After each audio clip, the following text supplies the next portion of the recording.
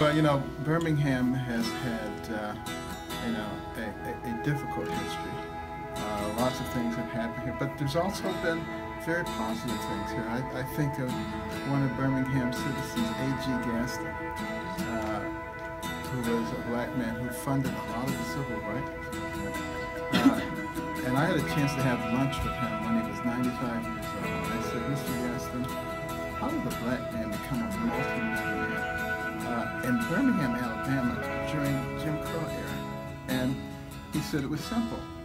I opened my eyes and I said, what do people need? And whatever it was, that's what I did.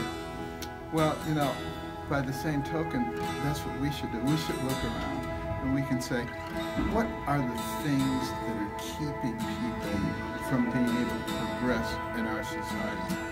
And we're identifying and we're tackling them one by one. And uh, I think it's going to be very positive. We need to focus on the positive, the things that, that made America into a great nation. Stop listening to the purveyors of negativity and division who only do that in order to enhance their own power.